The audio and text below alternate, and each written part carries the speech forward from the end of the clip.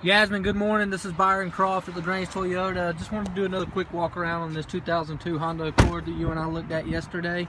I know you're coming in this afternoon to look at a couple more vehicles, but wanted to put this one fresh on your mind. This is a 2002 Honda Accord Special Edition with 169,000 miles.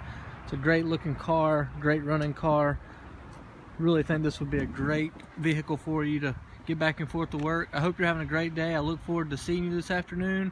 If you have any questions before you get here, you can give me a call at 706-882-2963. Thank you and I hope you're having a great day.